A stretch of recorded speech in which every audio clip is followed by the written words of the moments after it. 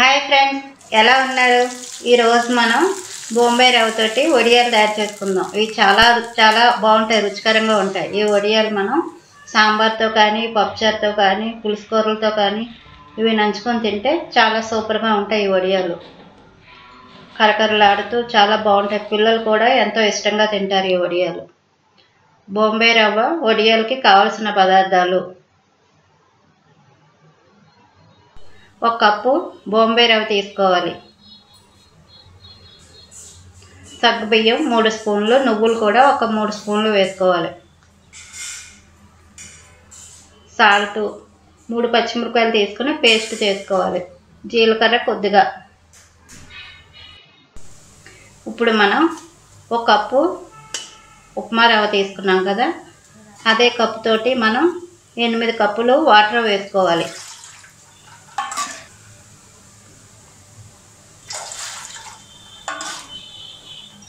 మనం వాటర్ కరెక్ట్గా వేసుకోవాలి. కరెక్ట్గా వేసుకుంటే వడియాలు కూడా విడిపోకుండా మనకి అందంగా వస్తాయి. మనం ఒక కప్పు రవ్వకి ఎనిమిది కప్పులు వాటర్ వేసుకుంటున్నాం.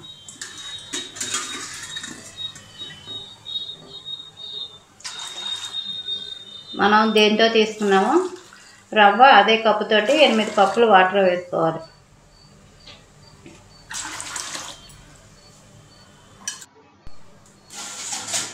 ఇప్పుడు స్టవ్ ఆన్ చేసుకుని హైలో పెట్టుకుందాం. మూత పెట్టుకుందాం. బాగా వాటర్ని మరగనిద్దాం.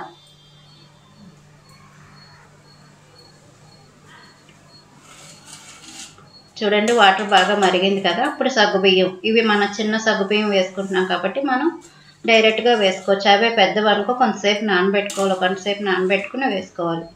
మూత పెట్టుకుని సగ్గుబియ్యం బాగా ఉడికిన తర్వాత ఒక్క మూడు నిమిషాలు అయితే మనకి సగ్గుబియ్యం ఉడికిపోద్ది. ఎందుకంటే వాటర్ కూడా బాగా మరిగింది కదా. మనం తీసుకున్నవి చిన్న సగ్గుబియ్యం కాబట్టి తొందరగా ఉడికిపోతాయి చూడండి సగ్గుబియ్యం మొత్తం వాటర్లో అంతా బాగా కలిసిపోయింది. సగ్గుబియ్యం కూడా ఉడికింది. ఇప్పుడు నువ్వులు. నువ్వులు మూడు స్పూన్లు. అంటే నేను కొంచెం నువ్వులు ఎక్కువగా వేసుకుంటున్నాను. అంటే టేస్ట్ ఇంకా బాగున్నాయి. తినేటప్పుడు నువ్వులు తగిలి మరింత రుచిగా ఉన్నాయి. మీకు నువ్వులు వద్దంటే అది మన ఇష్టం. నువ్వులు వేసుకున్నాం పచ్చిమిరపకాయ పేస్ట్. మనం తినే కారాన్ని బట్టి పచ్చిమిరపకాయలు వేసుకోవాలి. సాల్ట్. సాల్ట్ కూడా మనం సరిపోయినంత వేసుకోవాలి. ఒకసారి అంతా కలుపుకొని ఒకసారి రుచి చూసుకోవాలి. రుచి చూసుకోవాలి సాల్ట్. చూసుకుని సరిపోకపోతే ఇంకా సాల్ట్ వేసుకోవాలి. ఎందుకంటే తర్వాత మన వడియాల్లో వేయడం అవ్వదు కదా అందుకు మనం ఇప్పుడే కరెక్ట్గా సాల్ట్ అనేది వేసుకోవాలి. సాల్ట్ వేసుకున్నాం కదా బాగా కలుపుకోవాలి. మూత పెట్టుకుని ఒక మూడు నిమిషాలు బాగా పొంగినట్టు మరిగిన తర్వాత అప్పుడు మనం రవ్వ వేసుకుందాం. చూడండి వాటర్ అంతా బాగా మరుగుతుంది కదా. ఇప్పుడు బాగా చిన్న మంట మీద పెట్టుకొని రవ్వ వేసుకుందాం. ఉప్మా రవ్వ వేసుకుందాం. ఒక చేతితో కలుపుతూ ఒక చేతితో నెమ్మదిగా వేసుకోవాలి. ఈ ఉప్మా రవ్వ కొంచెం తొందరగా మనకి ఉండగట్టేస్తుంది అందుకు బాగా కలుపుకుంటూ ఒక చేతితో కలుపుకుంటూ ఒక చేతితో వేసుకోవాలి. ఇలా మనం మీడియంలో పెట్టుకుని కలుపుతూ ఉండాలి. మంట మీడియంలో పెట్టుకుని కలుపుకోవాలి. మనం ఆగకుండా కలుపుకోవాలి. ఎందుకంటే ఇది ఈ రవ్వ కొంచెం తొందరగా ఉండ అనేది కడుతుంది. అందుకని కొంచెం గట్టి పడుతుంది. అందుకు మనం కలుపుతూ ఉండాలి.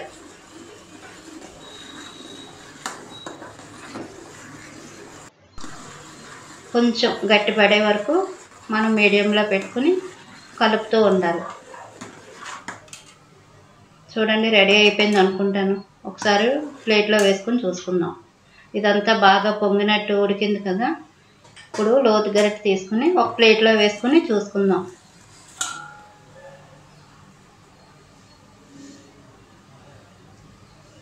చూడండి ప్లేట్లో వేసుకుంటే వడియం మనకి వచ్చింది. అంటే బాగా ఉడికింది.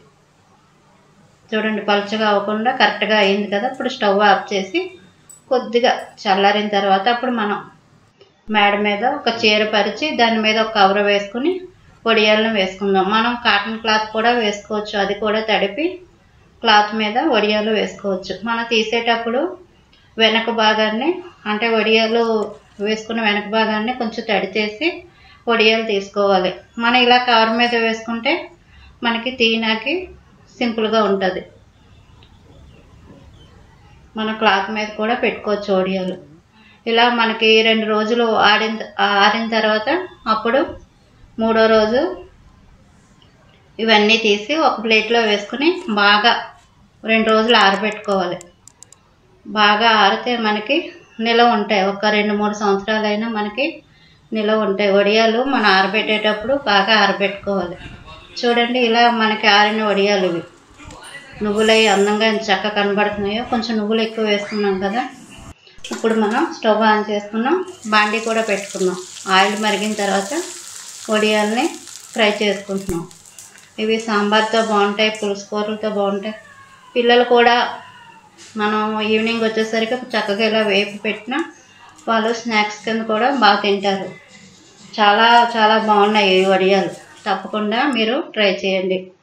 ఈ వీడియో నచ్చినట్లయితే లైక్ చేయండి షేర్ చేయండి. మరిన్ని వీడియోల కోసం మా ఛానల్ని సబ్స్క్రైబ్ చేయండి.